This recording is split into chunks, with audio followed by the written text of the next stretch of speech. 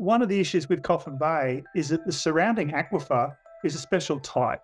So it's what we would call a karst aquifer system, which means that there's natural pipes or natural high flow pathways under the ground, which means that it's quite possible for water to move very large distances over short periods of time compared to other types of aquifer systems that are not limestone. For example, you get uh, similar types of aquifers down in the southeast of South Australia along the limestone coast. They also have very fast flow pathways, caves, and things like that are those sorts of conduits. So that's the sort of aquifer system there, which means that if you do something in the landscape that deposits nutrients into the ground, then it can get to that shoreline much faster and without the modifications that might occur to kind of neutralize some of those um, nutrient conditions.